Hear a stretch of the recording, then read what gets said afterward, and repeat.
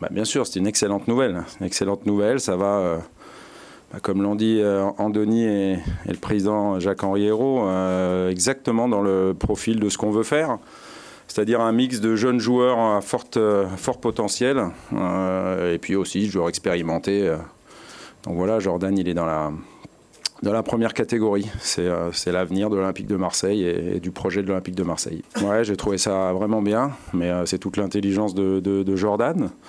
Voilà, respectueux, à l'écoute. Euh, il a des, qualités indéniables, mais euh, il sait aussi qu'il va aussi euh, continuer à apprendre dans, un club comme le nôtre avec des, joueurs qui composent notre effectif. Ben, Pat, il y a un projet qui a été clair quand il est arrivé. voilà, il est arrivé pour 18 mois. On a besoin de son expérience, on a besoin de sa, grinta, son charisme. C'est ce que je disais ce matin déjà.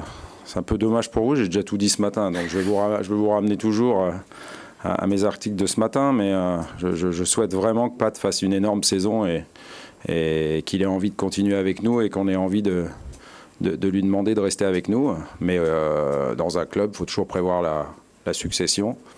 Et la succession, ça, sera Jordan, c'est comme ça que ça s'inscrit. Bah, la porte est fermée pour personne, mais après, comme je l'ai aussi expliqué ce matin, donc ça fait deux fois hein, que je dis ça. À mon avis, je vais le dire dix fois.